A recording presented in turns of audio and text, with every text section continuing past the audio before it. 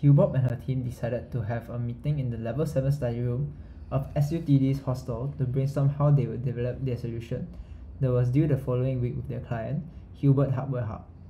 Now armed with Satiscribe, she knows that her team's minutes will be satisfactory. As a diligent and great project manager, she arrives for the meeting 15 minutes before everyone else and decides to check if the template is acceptable. She clicks the into the new meeting and takes a scan through the template. To Hugh-Bopp's dismay, there is no structure to the template of the meeting minutes at all. The detailed task summarizer, one of the more important blocks, is below the attendance and key dates block.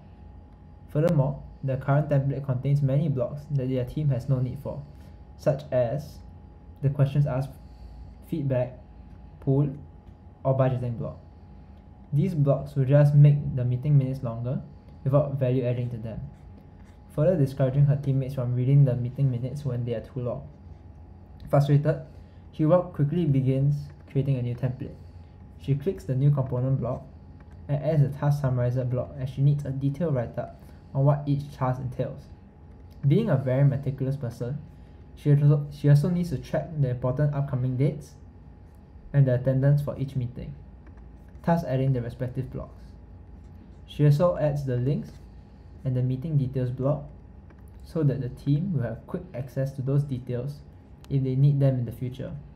She also added the full transcript block just in case she needs to reference the full minutes. Satisfied with her work, she clicks the save button and names the template client template.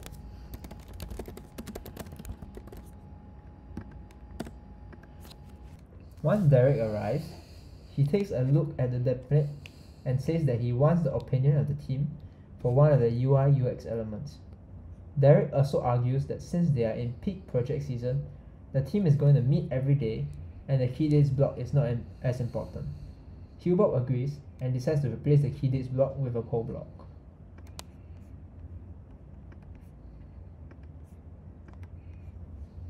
Once Morgan and Jefferson arrive, she realizes that her team is always present and there was not really a need to track their attendance.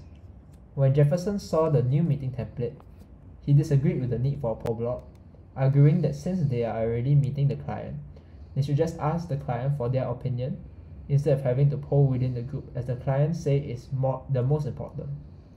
Hugh-Bopp agrees and decides to just delete the role with the poll and the attendance and finalizes the template just in time for their client meeting.